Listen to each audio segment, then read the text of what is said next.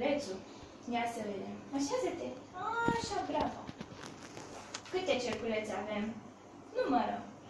Unu. Bravo. Și aici câte avem? Doi. Bravo! Trei. Ia să vedem. Unde îl pui pe unul? Super, Kevin! Și pe doi unde îl pui? Bravo! Și ia uite ce se întâmplă. Oh, nu! Ia să vedem. Unde îl punem pe unul?